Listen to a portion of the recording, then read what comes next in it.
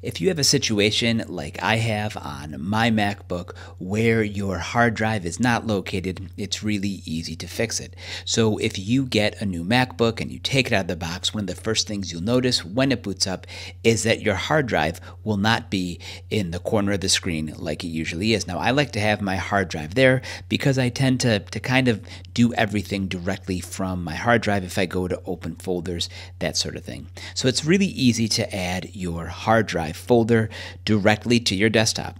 What you want to do is just click somewhere on the screen so Finder comes up and you'll go to Finder and Preferences. Once you go to Preferences, you're going to want to stay in the section that says General and all you'll do is just click on Hard Disks, just like that. And you'll notice all the way to the right, my hard drive is now here, which now will allow me to open that and give me a environment that's more familiar to me like it has in the past. So again, just go to Finder, select Preferences, and make sure that the check is on for hard disks.